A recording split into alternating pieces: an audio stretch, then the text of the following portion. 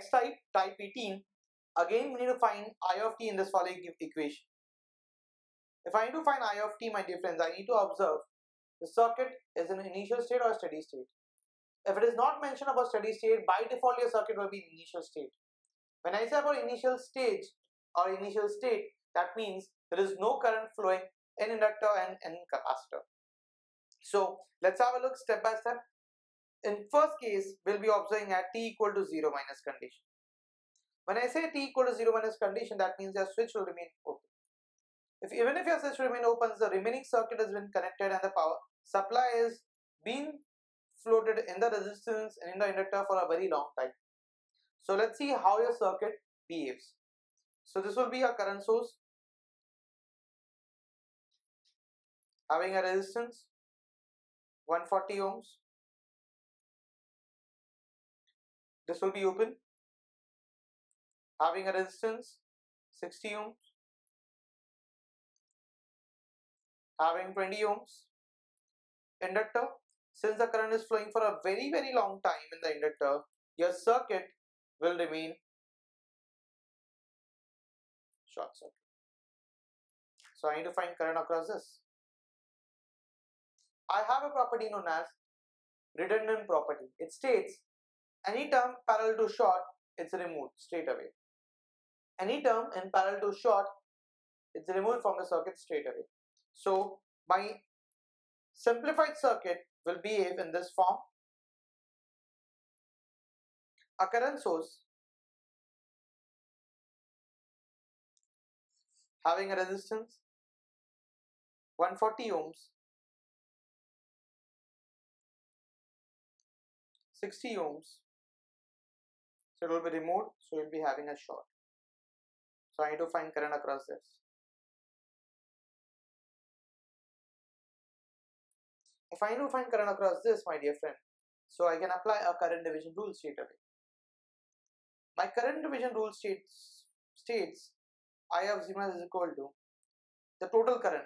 My total current is 25. So I need to find the current across this branch. If I can say in this branch or I can say 16, it is one the same thing because both are in series. So the total current into opposite resistance that is 140 upon addition of both the resistance. That is nothing but your current division rule. So apply this, you'll get the value for I of z minus Take a calculator, simplify, you get 25 into 140 divide by 140 plus 60. So value which you get is 17.7 amps. So now let's go for second loop. Second case, I have is t equal to 0 plus condition. When I say t equal to 0 plus condition, my dear friend, that means my switch will remain closed. So when my switch will remain closed, my circuit will behave in this manner. 25 amps, 140 ohms, my switch is closed, resistance 60 ohms, 20 ohms and an inductor. In place of inductor, I will be drawing a current source or a voltage source you think. In this inductor, the current was flowing in 0 minus condition as well because the circuit was connected from externally.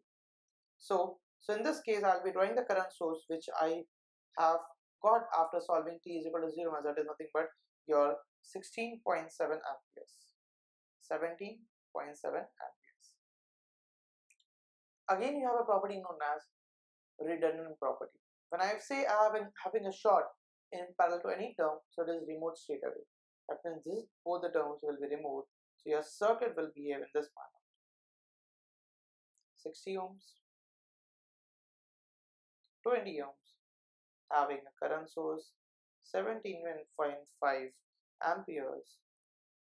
I need to find I of t my I of t and my current source are in the same direction. So I of 0 plus is nothing but equal to 17.5 amperes. Ultimately, I need to find I of t. So let's go for third loop case. My third case is given by my third case is given by at t equal to 0 plus condition. Greater than 0 plus condition. But is given t greater than 0 plus condition, my circuit will behave as 25 amperes, 140 ohms, the switch is closed, having a series of 60 ohms,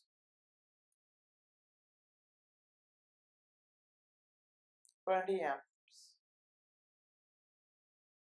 Inductor, the value of inductor is given by 0.3 Henry.